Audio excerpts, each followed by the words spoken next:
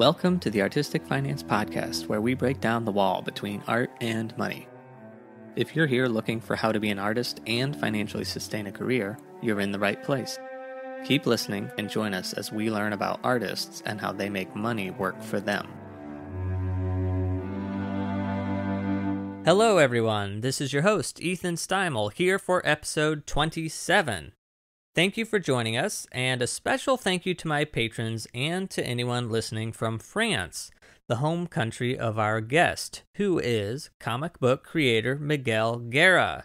His latest comic book, Ghost Metal, just released for Halloween and is a collection of horror stories and is available for free at sevenrobots.com. To learn more about Miguel, check out last week's episode where we talk about his personal finances as an illustrator. Today, he joins me again to discuss MMT, Modern Monetary Theory. If you're here for a discussion on art, I'd suggest you skip this episode. But if you're interested in money, currency, and debt, you'll enjoy the discussion. Miguel and I had a blast talking about this, but that's because we're a little bit nerdy when it comes to money, currency, and the historicity of it. Okay, one tiny request before we get started please find Artistic Finance on Apple Podcasts and subscribe. It helps me reach more listeners.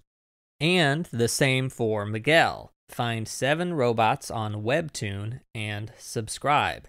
It's free and it helps him find more readers. We both thank you for subscribing if you do, and we thank you for listening to our discussion on the highbrow topic of MMT.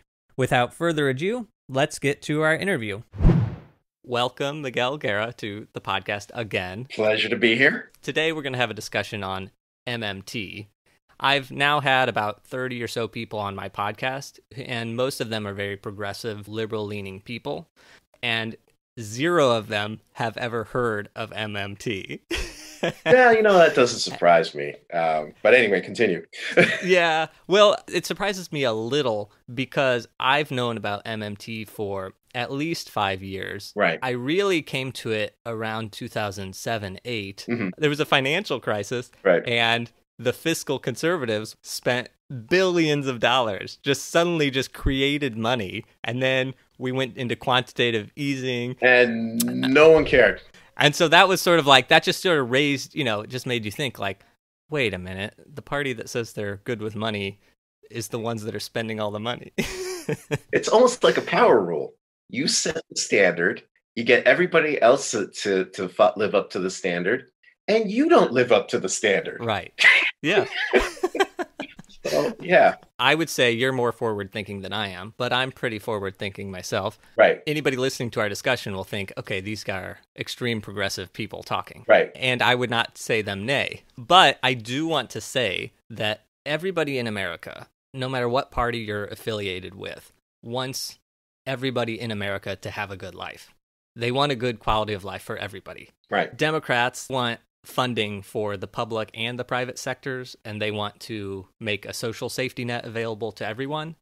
Republicans, they want funding limited in the public sector, but they want massive spending in the private sector. They want businesses and charities to be doing the social safety net.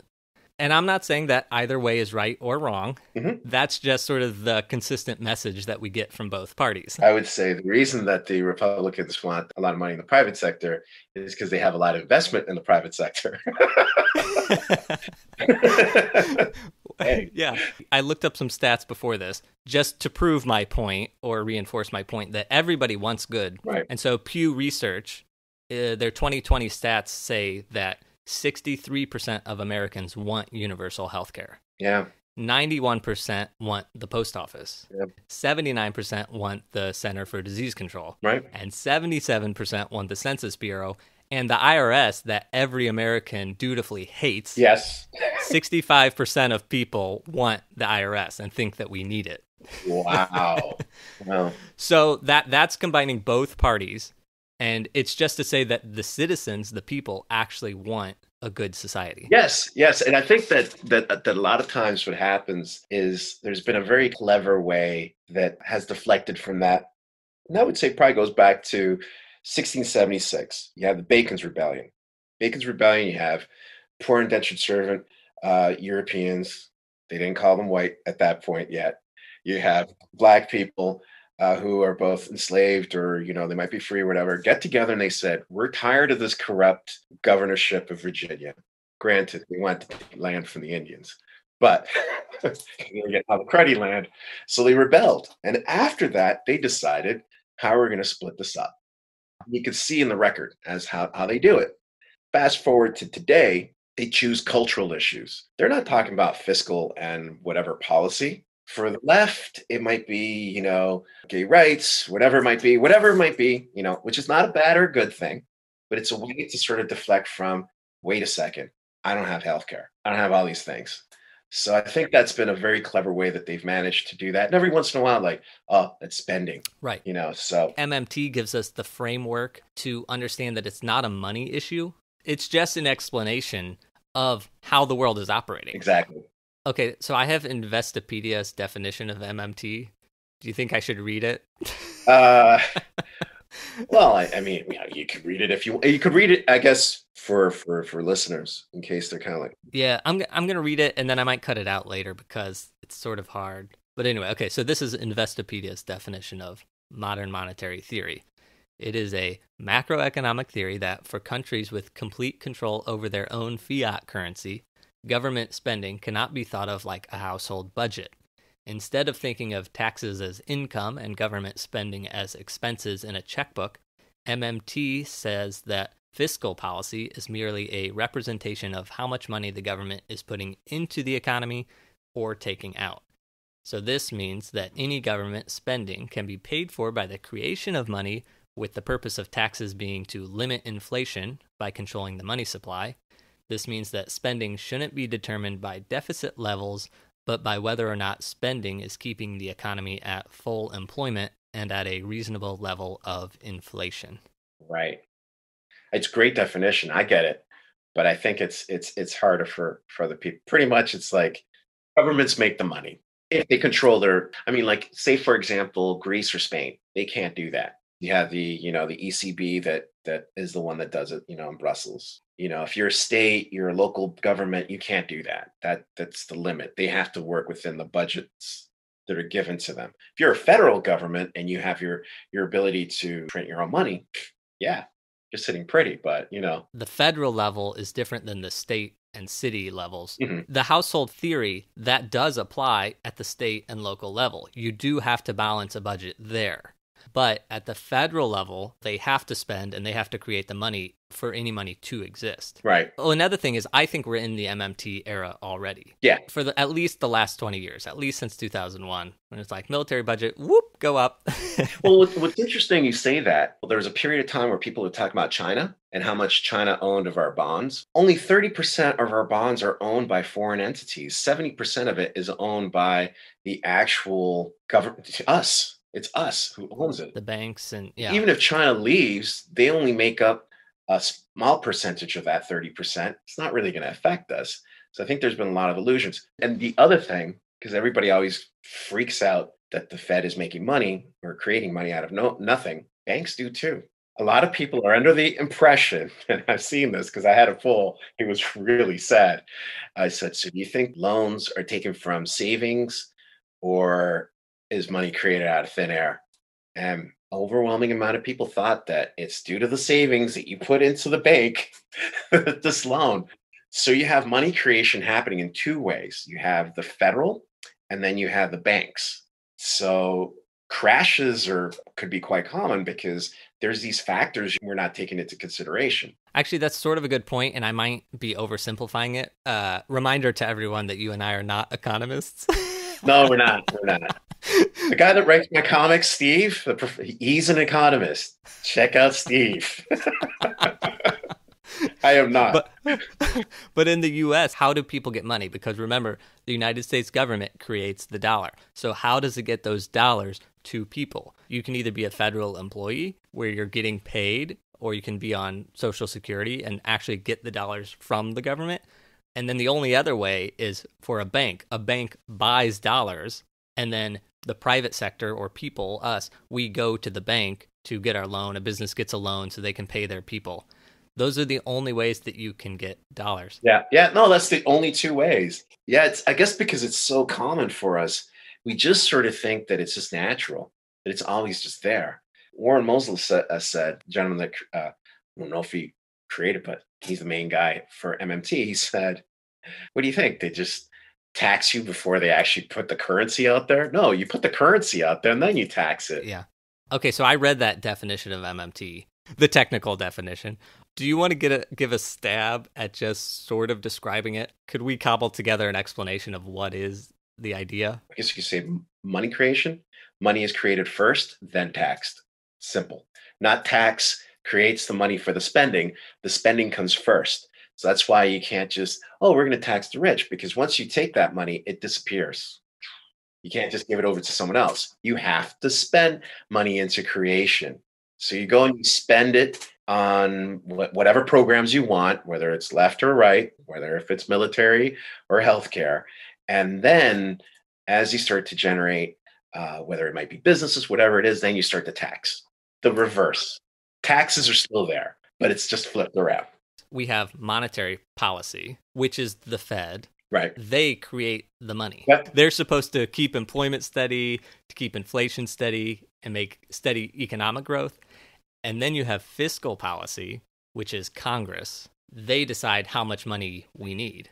I also wanted to say that money is not evil. Money is an imaginary thing. Once you know MMT, you can't say things like, I want to pay teachers more, but the military is more important. They need the money more. And you can't say, well, let's tax the billionaires so that we can fix the potholes in the roads. No, you can't do that. Yeah, because the way that it works is that, and uh, Warren Mosler pointed this out. He said, you know, first you spend the money, so you put the money out there, then you tax it, and you use taxes to drive the currency, or you use taxes to get rid of all the extra stuff that is making the, the economy go wild. But people have been drilled into their heads the first you tax that is not the way that it works. And it's not even a theory per se. It's i guess you could say it's a theory but it's a way of explaining the operations of how it actually is done. Yeah. To your point about money not being evil i know a lot of people always misquote the bible. They always say the root of all no no the root of all evil is the love of money. Yeah. A lot of people really don't understand too. Graeber explained it beautifully if you've read debt the first 5000 years if you haven't read it you'll never look at money the same way because he goes into explaining to you uh, how it's debt, all this debt stuff. I mean, he he gets into you know now it makes me think, you know, like sins literally were debts. Uh, Michael Hudson, who I did a cover for uh, for his and forgive them their debts, he goes right into the Bronze Age and he talks about Mesopotamia. Mesopotamia could figure out, okay, what's going to happen is we're going to lend out all this money. All this interest is going to happen because it's not really money, it's credit. Uh-huh. And credit is the first thing that comes. Yes. And then what's going to happen is it's going to be impossible to pay. So they created Jubilee. So you had periods of Jubilee. So he goes all the way up. And then you get to ancient Greece and Rome, they stopped having Jubilees. Why? Because this fictional thing, math, I mean, sure, you can have a thousand percent, but are you ever going to pay that? So I think it's really hard then to think and, and to realize and I always laugh when atheist friends of mine say, I don't believe in anything irrational. I say, well, open up your wallet. Because the first thing you will find is one of the most irrational things that hinges this entire megastructure that we call civilization, and it's money. And it's really hard for us, I think, to give up that belief because once we give up that belief, then we realize, as Graeber points out, this is plastic we can actually mold it to something better than what it is. Yeah. It's really hard for two reasons. One, you believed in it because your parents told you. Two, you feel really stupid. I think that brings up a point, which is fiat currency. Mm-hmm. I don't know if people understand what fiat currency is, but it's what the US dollar is. Right. It's not pegged to anything. Correct. It's not pegged to anything. So people, I, I think everybody knows, but still we think in our brain that the dollar is pegged to gold or something like that. Right. But it's not. It, it was before the world wars and then you know we needed to pay for the wars so we said oh not pegging to the dollar. And then after world war ii we pegged it back to the dollar again.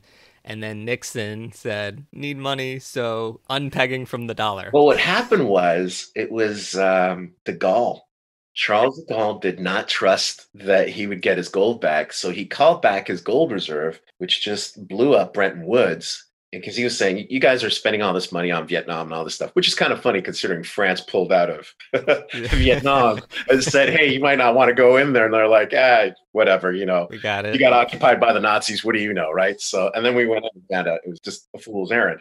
But yeah, it was it was uh, because of that, and then they had to de- depeg it. That just says that we're not being facetious or crazy. The dollar is backed by nothing. Yes. Actually, the most interesting thing anyone has to do is look up the root word for, because I said credit came before money. Look up the root, the Latin word for where uh, credit came from, which is credo. Credo means belief. Yeah. That's why it fluctuates. You know, if you, if you honestly sit there and think, that the market is rational, that there's an invisible hand balancing things out. No, it's just a matter of like, president's got sick. Okay, I'm going to dump this much. Why are you doing that? He might recover the next day. You know, it's all faith. So, you know, some people know this, but I'm assuming a lot of the people listening don't know this. But there's Keynesian economics, which is what we used to get us out of the Great Depression. Right. And the idea behind that was increase government spending and then lower taxes to help get the economy moving. The next thing I think most people know is trickle down economics. Oh, Reagan. Yeah, which is sort of a supply side theory that wants less regulation, give more money to businesses and investors, and then everything will work out in the economy. Which we all sort of know is like doesn't work, but I think our brains are all still there. I think Milton Friedman was the most dangerous one when he won the Nobel Prize and that whole thing that we now call neoliberalism was really refined. And the Chicago boys and that whole, as Naomi Campbell called it, the shock doctrine came in. That changed things a lot. And then by the time you get to Reagan, you know, you have the uh, coup in Chile. And once you get to Reagan, that just gets really ramped up with him and Thatcher. Yeah. Because Thatcher was another one. I mean, right. Thatcher. So you get the, those two. And, and we've been suffering that. And it's been neoliberal policies and people confuse neoliberal like you know j.k rowling has her own problems but once i saw that she said something about oh yeah i'm a neoliberal like it's centrist. It's like no just because it has neo doesn't mean it's a political philosophy. You know it's uh, it's an economic policy although it, it, translates into a political policy you know the idea of privatizing everything. Okay that was something i missed. Maybe you can explain it a little bit. But thatcher margaret thatcher is who you're referencing? Mm-hmm. and why is she important? She's important because she was pretty much uh, rolling out a lot of the same stuff in england. Uh, a lot of the privatization a lot of the things that now is basically put the UK. I know a lot of people thought in different ways uh, over Brexit. I usually say, you know, Brexit you should have had was from Washington because now they're walking in and they're going to privatize the NHS. I mean, they're they're they're fighting to keep their health care.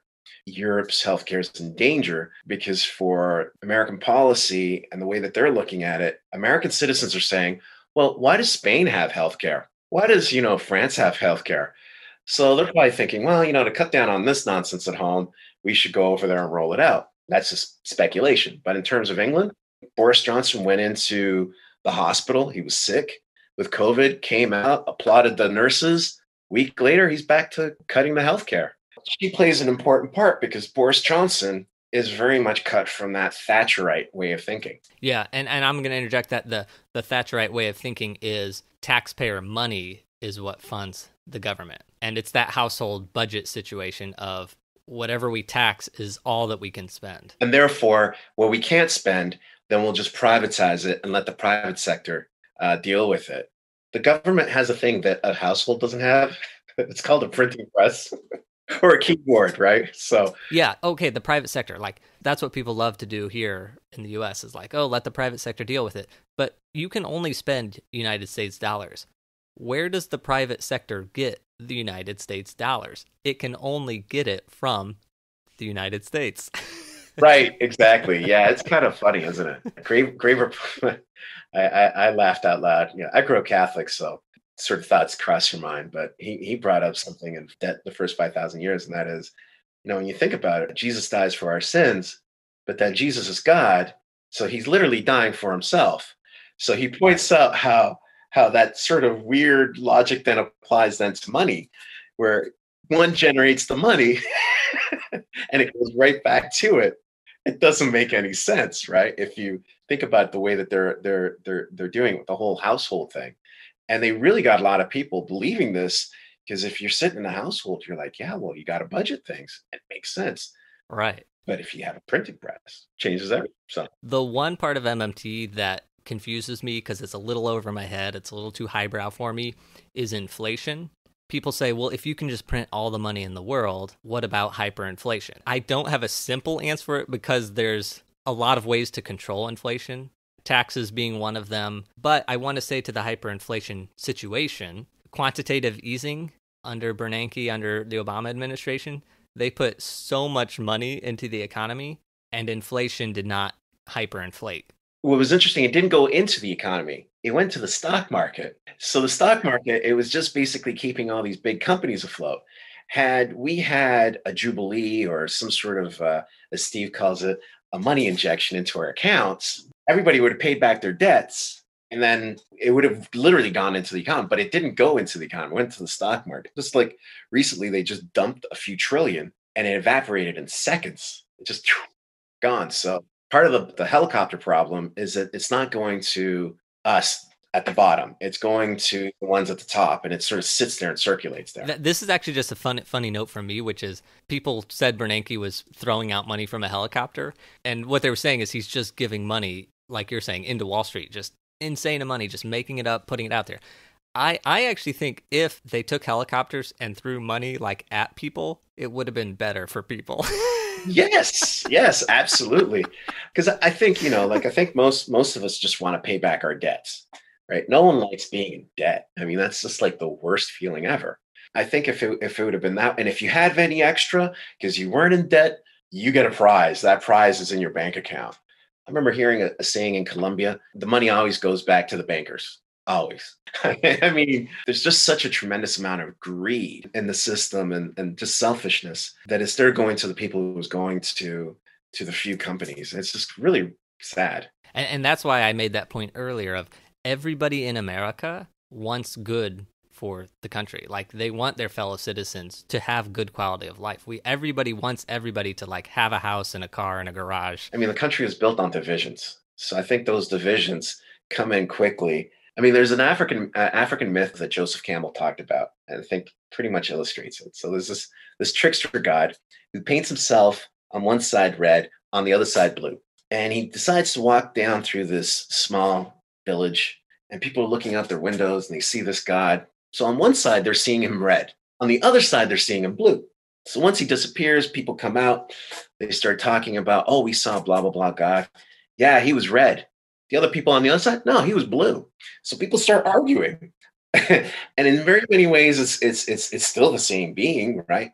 In many ways, this this discord allows for 600 people to run our country, right? And instead of saying, "Wait a second, uh, you said that we couldn't make money out of thin air." The other thing that I think has to be understood with money is that people confuse money and currency. Those are not the same thing. Money is the math of a debt currency is a representation of that said debt. So I think it's also understanding those things we need to know. I want to bring up the national debt because that's always the big thing.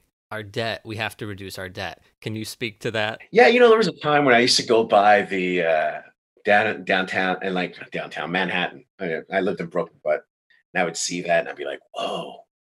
And now I kind of think, we have a magic printing press. We can take care of this. I mean, even I think it was Obama Bernanke that joked about the trillion dollar coin. It's because they they understand that it's abstract and symbolic, much of it. The other thing that has to be understood, and I, I like to compare, if you took public debt, it would be like the size of say it's the size of the moon. But if you took private debt, student loans, credit cards, mortgages, all that stuff that doesn't have a printing press to take care of it, it would be like the sun we're sitting here worried about something that can be relatively solved while there's other things like this massive debt that literally could collapse everything um, in, in many ways. This is what crashed rome.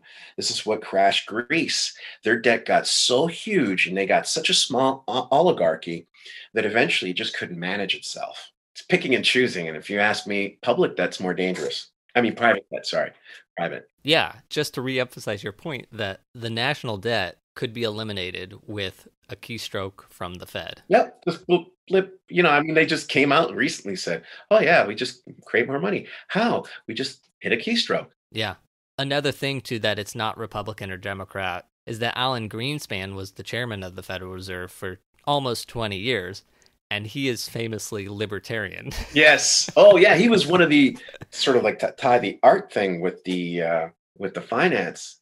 Steve Ditko, the guy that drew Spider-Man, the original Spider-Man uh, comic, and Alan Greenspan were at the same first meetings with Ayn Rand. They're a libertarian. So yeah, yeah, he, he is big time. Like not just like I just walked into it like he heard Ayn Rand talk. So well, and, and Alan Greenspan was under oath in Congress, and he was asked about Social Security and is it going to run out of money?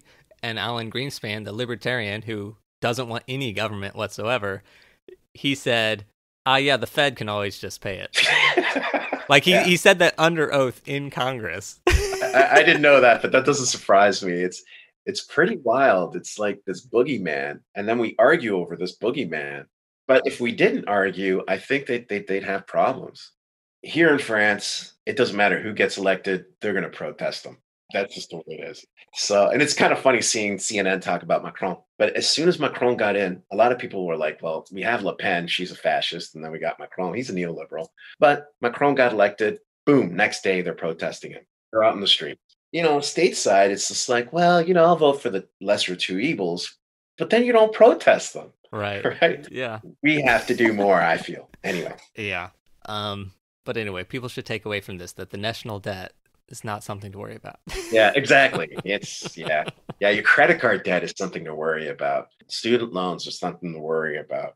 Your medical bills, because the reason we get in credit card debt is because of the massive amount of debt that we get in from healthcare.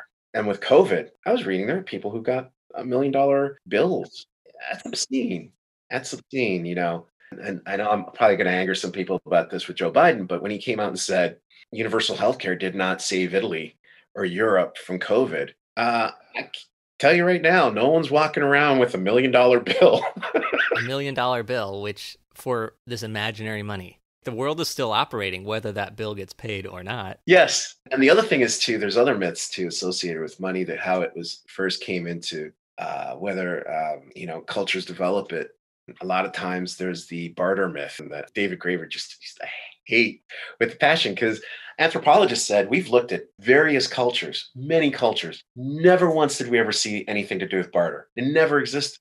But favors and credit, that exists. Actually, I'm so glad you brought that up because that is a thing. Everyone's always like, "Oh yeah, back in the old days when people bartered." No, it never it it never on a substantial level existed. Sure, you swap something with somebody. It wasn't really how the economy worked. Only time you see it is when empires collapse. You might see it kind of creep up and yeah it's like no i'm going to give you a third of my cow. No. It's like hey can you paint my house? Okay. You know uh, like maybe but you know it's it's it's really and this is from mainstream economists they still talk about this stuff so i'm going back to the national debt because i obsess over it all right no problem no problem it's just to talk about people are scared of it. Like there's this thing of like, oh my gosh, we're X trillion dollars of dollars in debt. We're never, our children are never going to be able to pay that off. Okay, say there's a national debt. Say the Fed creates a hundred million dollars and it taxes back ninety million. So there's ten million that it's in debt, like it owes. T- there's ten. There's ten million unaccounted for dollars. But the thing is, that ten million dollars is in the private sector. By the U.S. having that ten million dollars that they're missing, private citizens now have money in their bank accounts. I'm just saying that to say that's a good thing. yes, it is. It is. It is. And this is going to sound completely, absolutely insane because I know that usually you say to the right of Genghis Khan. If anyone has read the Jack Weatherford books, will know he was actually pretty interesting. One of the accounts is that he walks into Baghdad he sees all this poverty, of course, after he's conquered, but he sees all this poverty. He sees these beautiful palaces, and he's thinking, the wealth needs to circulate. This is a nomadic guy out in the middle of nowhere, understood that, hey, no, if you're pulling all this money, this is bad for society. It needs to circulate. This idea that we have, and it's interesting because Jack Weatherford, um, he's an anthropologist. He helped translate the secret uh, history of the Mongols and he did another one called fantastic book uh, different topic it was on native americans what the native americans gave to us uh, indian givers what native americans gave to us He has a theory that we have tribal versus sedentary societies. And then most oftentimes, the tribal societies end up sort of giving us all these wonderful new ideas to the sedentary societies, such as, well, feminism, Iroquois Nation. You have uh, the Iroquois Confederacy that gives us all this wonderful stuff that today we think is just came from ancient Greece. No, it was a lot of the indigenous people, and it's really fascinating. But it has to circulate. So if you have those $10 million, we as private citizens, we're not going to keep it in our pockets. We're going to spend that money. Especially if you're Miguel, you're going to spend that money. and it's going to go right back to them has to be like a circle that we're thinking of. Anyway, so. yeah, no, I, I think that's a good point because there's a book called The Deficit Myth by Stephanie Kelton. She talks about how tax cuts, because that's like a divisive thing of like, oh, the Democrats are going to tax and the Republicans aren't. Taxes are necessary. Once again, 65% of Americans think the IRS is necessary. But it's it's she's talking about targeted tax cuts. You need the money to go to the bottom 20% because they're the ones that will have the biggest impact because they will spend it into the economy. If you give it to the 20 top percent, they are just going to buy more stocks or more bonds. They're not going to buy. They're already going out to eat every night. They already have the cars they need. They already have the house they need. They're not going to go buy another car. But the bottom 20%, they will go out to eat instead of going to the grocery store they will go get a vaccine that they're missing that they need. yeah, well, you're right. There was a, I can't remember which billionaire, but actually came out and said, look, I'll never spend this money in my lifetime. And cars, I've got all the cars that I want. I mean, you've won the video game. I mean, like at this point, you're like, you know, you've done second, third, quadruple laps you know, it's the people who are still fighting in the video game. It's like to jokingly think of it kind of like a Matrix video game sort of thing when you think of it, money being made up. So it's people who are at the bottom of the video game and level zero or negative zero, you know, need the help to get to level one or two or whatever it might be. That is true. There is like a group of, it's either millionaires or billionaires but there's a group of them that are sort of lobbying Congress to be like, you know, we really should have our taxes raised. there's there's still there's still a lot of paranoia here in France about uh, they still remember the French Revolution, and every once in a while they'll they'll lay a good French Revolution joke. They're like, "Yeah, Miguel, we still know where the guillotines are." so uh, the wealthiest people here, I remember when the crash happened, asked to have their taxes raised because I think they were they're a little little worried. Yeah, we would rather you not come for us physically. Just take that imaginary money that's imaginary. We'll, we'll, we'll take the cut, cut, but not that kind of cut, right? So, and I can tell you, like, uh, I've been by um, Place Concorde, which was where they, they they killed the king. You know, there's five places where they had the uh, guillotine. After one of the protests, I'm walking, and someone had writ- written "Death to the King." Like not too far away. I'm like, man, they don't forget. so you don't want a situation like that. I mean, it's always kind of hilarious to joke about it, but it's usually a bad thing when society gets to that point. You want to get ahead of it and you want to make sure that everything's nice and calm. And when you look at Mesopotamia and you look at Egypt, like Marx wasn't able to fit Mesopotamia and Egypt into his revolutionary sort of history. And the reason was they had debt forgiveness. This is something that Michael Hudson came. Yeah, it was like, okay, yeah, debts are forgiven. All right, start over again. Once you remove that, then you start having revolutions and all sorts of problems. Yeah, and I think that's one of the good things about MMT is it it takes the excuse of money away and it says, what do we want society to look like? Because money is an imaginary thing. Everybody blames, but you need to stop that as an excuse and talk about what is the society that you want. Because we can make it, the money's not a thing. I totally agree. I blame the pathological. There's this sort of relationship that we have in a very pyramid style structure where the most pathological make it to the top. I mean, I'm not saying, you know, that they're sort of Lex Luthor-ish, but they're selfish.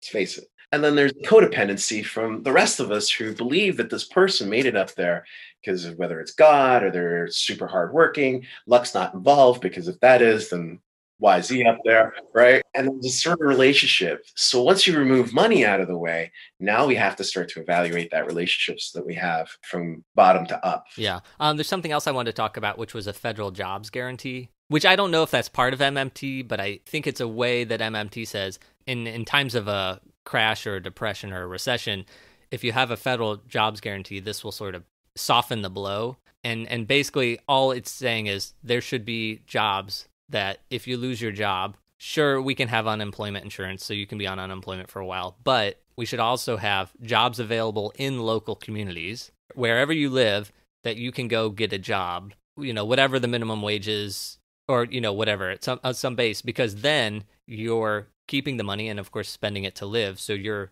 keeping money circulating in the economy instead of just being removed for however long until things come back to normal. Right. And you're still generating a, a work experience. Yeah, FDR did that back in the day. He had artists and other people too that they would pay and stuff. He, he tried to revive it. So there's a lot of policies that FDR had that uh, unfortunately what happened was with the new New Deal is that as soon as he put it together, there was already a plot to dis- dismantle it. So by the time we get to the 80s, Reagan is the end result of that plot to destroy it ultimately. I mean, there was a point, and this sounds crazy, but you can look it up the business plot, which was to overthrow FDR militarily and put a fascist government. So everyone's talking about fascism now, but you go back, it was 1934. They got Smedley Butler. Didn't work out their way because uh, Smedley came out and said, the top families came, you know, a representative from them came, try to get me to do this, and this is what's happening. And he wrote probably one of the best books in terms of war. War is a racket. It is absolutely fabulous because he is still the highest decorated Marine in US history. And he literally says, Capone had nothing on me. I, you know, I was a heavy for Wall Street in Latin America, Asia, and so on. So it's very important to understand that a lot of our imperial exploits is also tied with that whole war machine. And if we were able to take back our money and be able to then control it, those exploits would go. I would hope. Well, talking about FDR, with the Works Progress Administration, they had something called the Federal Theater Project. I think so, and he had stuff for for painters and uh, other people. Yeah, I- exactly. Um, Orson Welles is a name that most people know in America. He got like his start, or he got plenty of work and sort of got fame from a lot of the stuff that he was doing from the Federal Theater Project. Wow, I didn't know that. Yeah, it doesn't surprise me. I didn't know that. Yeah. And I'm a lighting designer, so there's also lighting people that it, it, was like early stages of lighting, but like our founders, they got their start like working with Orson Welles and working on all these projects. Those people wouldn't have had that, or maybe they would have done something else like farmed or, or been an economic person or, you know, whatever. My father was telling me about, I think it's the Scandinavian countries. If you're an artist, you get paid a certain amount I believe. I don't know if that's still the same. I might have been in the 70s or something, but you get a certain amount even if you're not selling. It's a way of trying to keep you doing your thing. There are many ways to do things. It's one of the things, if you haven't read Debt by David Graeber, I would advise because after at the very end, he really poses the question we really can shape our own society. It's just really up to us to decide how we're going to shape it. He gives you it's like, and you're like, wow, that's crazy. that's insane. you get to that and you're like, yeah, I mean, it's pretty plastic. So, yeah, I guess what I sort of take away is that we need people to have money. That's the key, which of course I know I always draw back to the national debt of yes, be in debt because when you're in debt, that means the people have more. If you don't have any debt, that means the people are indebted to you. That's right. Yeah, you, you, you, governments cannot have savings accounts. Yeah. I think that's what people have to understand. There's not a savings account. You create it it goes beyond the borders of the United States. I'm American, so of course I care about America. Like I care about myself first. You know, I'm selfish. Right, right. but it's like 70% of the currency in the world is the United States dollars. This affects other countries. If if we have debt outstanding, that means other countries have things. They have food and medicine and emerging economies actually have things. Whereas if we balance our budget then those countries just stay underdeveloped. To a degree, I mean, you also have to consider that a lot of the loans that we lend out are predatory. So there's that whole other side to it. I mean, if you didn't have the predatory loans, you didn't have a lot of our bases, yes, absolutely. But everybody affects everybody because you know we might be buying whatever it might be that they're producing and so on. For example the the global south has desperately needed a, a jubilee going back to the 70s and they have not been afforded that. A lot of the not moving off of oil has been and this is something that i kind of cracks me up about the environmentalist groups because they always talk about oh the carbon the carbon and then you look at our entity called the us military they measure petrol in gallons per second and then there's a sort of weird vicious cycle. So we need the oil for our military. and so on. So there's this other vicious cycle to it. So we have to include in our military exploits, which I fear appropriately so from what happened to my mother's country of Spain. The Civil War was really a result of uh, its imperial exploits imploding in on itself. And there's actually some really hilarious stuff like, and I, I you know, my my grandfather fought for the Republic. This one point, they needed tanks and weapons against the nationalists who were the fascists. They had Hitler and Italy and everybody on their side. They took 510 tons of gold, gave it to the Russians in exchange for tanks that did not work. no, the funny part is that is that if you really think about where they got that gold, you know, not that I believe in karma, it's sort of like, ah, there's a punchline, right? You didn't get it when you, you didn't get what you needed when you needed, right? We have to sort of bring in those military exploits, I think, to sort of balance those things out when we talk internationally. Yeah, I agree. And this is conspiratorial of me, so I'll probably just cut this part out. But Gaddafi in Libya. Yeah. Yeah. He had to, he was a dictator. I'm not defending anything bad he did. Yeah. But he did make Libya the richest country and he was working on making a pan-African currency. He he had like 7 billion dollars worth of gold that he was using and he was going to give an alternate to the French franc and then suddenly he had to get destroyed. he had to go. Yeah. And he also had or Libya still has the biggest water clean water reserves in Africa. So yeah, yeah. I mean, if you look at the list of dictators that we we sponsor, that's why I kind of sort of like cringed when I heard Kamala Harris say, "Well, you know, Trump cozies up to dictators." I can go to Wikipedia and look at a list of all the dictators, including my mother's country, which was a fast dictator, Franco. It's like, what are you talking about? It's just the hypocrisy of it. You don't have to mention it. you just fell out of favor, and they just decided, no, you're done. but, but, the conspiracy in me is like, oh yeah, he was trying to take monetary sovereignty, so he had to go. it's all about the money. I mean, conspiratorial these days is like if you believe that the elite are shape shifting lizards from the ninth dimension, right? Yours is within reason.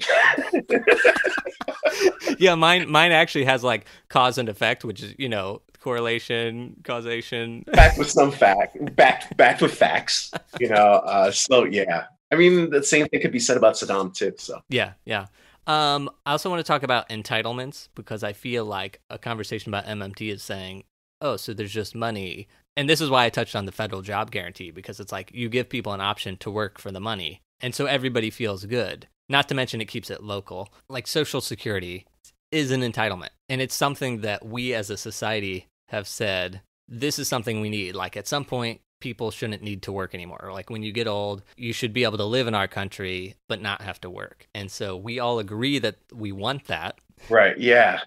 Entitlement always makes it seem like because you're paying you're paying for it though, and the other side too. So there is that you know it is being taken out of your your your check. So I kind of understand when I always think entitlements is kind of like the queen. You're born into it and and I think ent- entitlement always gives the right, just the perfect phrasing to say, yeah, entitlement, right? And then it makes it very easy to go, yeah, I don't know, that, that sounds very highfalutin. We shouldn't have it. Yeah, but but I think I mean it is one of those things that bothers me. There's there's certain words that people are like scared of. I could call it something else, like I could just call it Social Security. right, right, right, right. Yes, yes. But but once again, it's one of those things that everybody, regardless of party, you want that because you want to live in a society that wants to take care of old people. The, the most recent thing was Trump did an executive order to diminish but extend the pandemic unemployment insurance. In doing so, he cut Social Security funding. But people are like, oh, he cut Social Security funding. He cut the taxes for Social Security. So Social Security is going to run out of money. That's not the case. Taxes don't fund Social Security. Social Security exists. Yeah, no, that's true. That's true.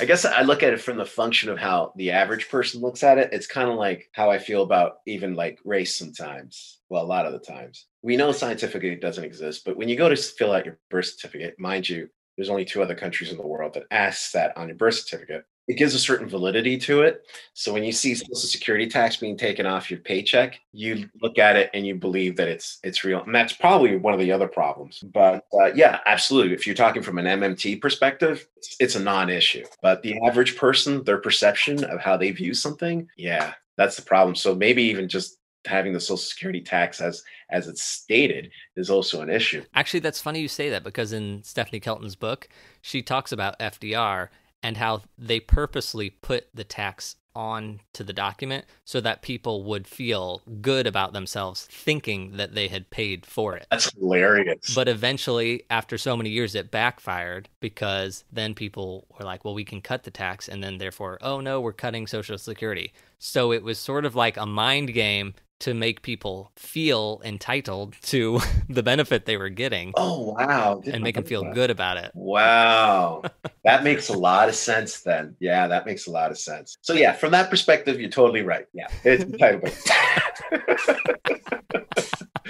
but once again, if you understand, in America, you can only use the United States dollar to pay for things.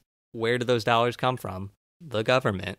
So unless the government puts money out, it cannot be used. Like it has to start from them. It has to come from somewhere. It does not come from the taxes you pay. Yeah, we don't create. We were not the ones that create the money into existence. But yeah, no, that's interesting that you bring that up because uh, about the Social Security that it was just done as a gimmick. So that's that's interesting. I did not know that. That makes sense. Well, I have to I have to pick up and and uh, read her book when I get a chance. When I'm not reading about werewolves.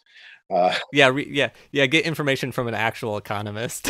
right, right, right. Well, I've, I've, been reading a lot of Steve's and Michael's stuff, and uh, so I have, to, I have to. It's on my list of books. Okay, I feel like we've done a pretty good coverage of it. We've at least talked about it so people can understand. Since I've run into thirty progressive people who had no idea what it was. Right, right. Yeah, I think that's what warps your mind, though. And if you understand that if you read Graeber's stuff, read Steve's stuff, Hudson stuff, Kelton stuff, then you start realizing we're insane. We're then you don't take either either side seriously. You know, you have one side saying, "Oh, we're going to save this much money," and you're like, "No, you're not. You, you create the money." And the other side, "Oh, they're going to spend this much money," and then you feel extra crazy, but you're telling other people who are plugged into that way of thinking they're not going to see your weight. Oh, and before we go, I do want to mention I might have made this point already. You and I are fairly progressive people. MMT is being proposed by progressive people because that's always how things advance. MMT, the concept, the idea, is just explaining how the system is working. It, it has been working this way for at least 20 years. We are in what I consider the MMT era. Yeah, I mean, just take money itself. It's kind of scary to say that it's made up. I think that makes it kind of hard for people. And that it's tied to religion. That's the other thing that's really hard. And this is my last aside. The name yeah. for money comes yeah. from the Roman temple Juno Moneta. The temples where were where you stashed, they stashed their gold, whatever it was. Uh, Michael Hudson, that was working closely with the people translating the cuneiform from Mesopotamian temples. Overwhelming amount of the cuneiform were loan contracts so it's so fused with religion that we've somehow secularized something that is based on belief.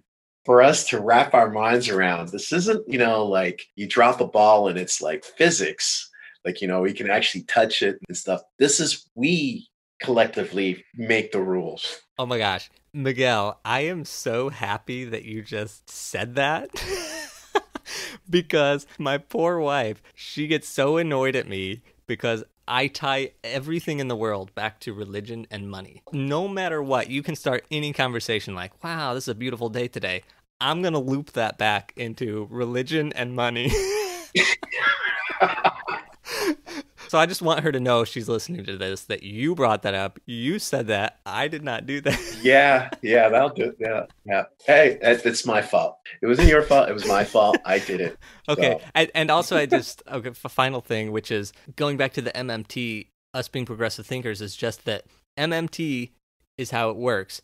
It can be used for a progressive platform and it can be used for a reactionary platform. Republicans can use it to say, oh, let's pay for the military. And then Democrats can say, let's use it for a federal job guarantee. It can be used both ways. So even though it's being proposed by the progressives, it works both sides of the aisle. So it's just the way it is. It's like a hammer. It's, it's just a tool. It's it's nothing more, uh, nothing more than that. So yeah. All right, I'm gonna wrap it up. But the thing I want people to take away treating things like a household budget only works at the state and local level. Correct. Or country, depending on what country you're on, the country or city level. Yeah. On the federal level, the household budget does not apply you can never say, How are we going to pay for it? because you always have the answer MMT. right, right. You literally call up the, the Fed. Fed says, Well, how much money would you like? how fast can you type on the keyboard? All right, uh, Miguel, thank you so much. Is there anything else you wanted to say? Just please check out my comic on Webtoons, Wolf Boy. If you like it, subscribe it, like it, whatever it is. But please. Okay, amazing. And also, I, I'm sure people realized it, but you were like the perfect guest because you are an artist and you make comics and you make those comics about money. yes, about money. Yeah, it's sort of strange that the whole idea of uh, superheroes. I mean, just that that kind of got me thinking. How do we teach our? How do we tell our children altruistic lies, and then they get older, and then you have to pay for everything? I mean, you know, at least start telling them the truth from when they're little, and maybe they'll decide it shouldn't be that way. For me, it wasn't a matter of it should be that way. It was a matter of sort of like protesting the idea that millionaire's not going to put on a costume, run down. I mean, he might. Right.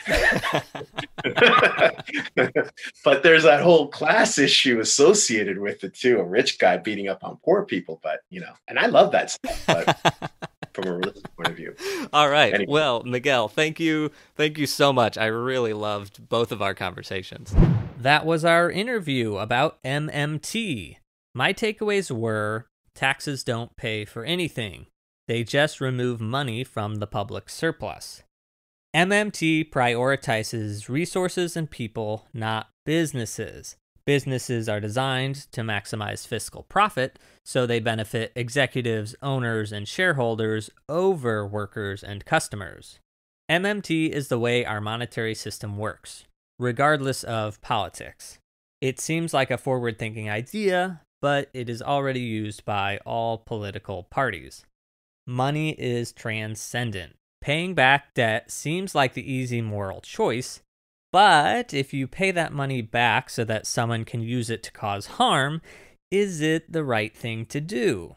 David Graeber, who Miguel mentioned wrote Debt the First 5,000 Years, uses the example of if you borrow a sword from someone, and then while you have it, they become mentally unstable and want the sword back to kill someone, do you return the sword? I don't have an answer, but that's an example to illustrate the gray area that exists. Well, congratulations to all of us for sitting through a highbrow discussion. I hope that we all learned a little about MMT or see money in a new light. We just scratched the surface of the topic. And again, we're not economists or financiers. To learn more about MMT, read Warren Mosler's book, Seven Deadly Innocent Frauds of Economic Policy, or Stephanie Kelton's The Deficit Myth.